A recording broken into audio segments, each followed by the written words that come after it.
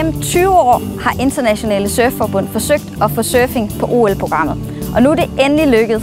For første gang kan vi til sommer se surferne i bølgerne i Tokyo.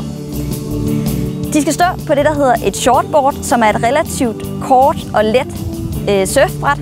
Det er dog dobbelt så langt som det surfbræt, jeg står med her. Jo kortere og jo mindre og lettere et surfbræt er, jo sværere er det at stå på, men jo vildere tricks kan de også lave på den. Til OL der bliver surferne bedømt ud for, hvor svære tricks de laver og hvor gode de er til at udføre dem. Der må kun være én surfer på bølgen ad gangen. Og faktisk så kan surferne få minuspoint, hvis ikke de overholder de færdselsregler, der er for bølgerne.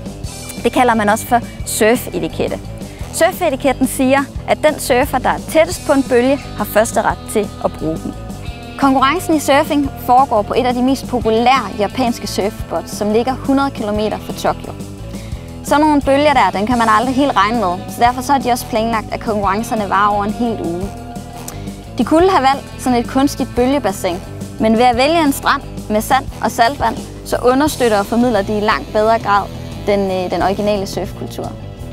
Den kvindelige favorit, topseedet til guldet, er Clarissa Moore fra Hawaii, som altså repræsenterer USA og er firedobbelt verdensmester. Hun får dog meget, meget skarp konkurrence af Stephanie Gilmore fra Australien, der er syvdobbelt verdensmester og har en meget aggressiv øh, stil. En kvindelig dark horse, som jeg vil være særlig opmærksom på, er Shino Matsuda. Hun er kun 18 år, men hun er den højst rangerede surfer i Asien. Hun er på hjemmebane, og hun kunne godt gå hen og blive ret interessant at følge. En klar favorit blandt mændene til guldet, det er Gabriel Medina fra Brasilien. Han er en ekstremt dygtig surfer med en vildt akrobatisk stil, men han er også ret kontroversiel i surfmiljøet. Det er han, fordi han er kendt for at bryde den her surf-etikette, hvis det giver ham en fordel i konkurrencen. I forhold til en dark horse blandt mændene, der bliver det vildt spændende at se, hvad Kanoa Igarashi kan præstere. Han er national held i Japan.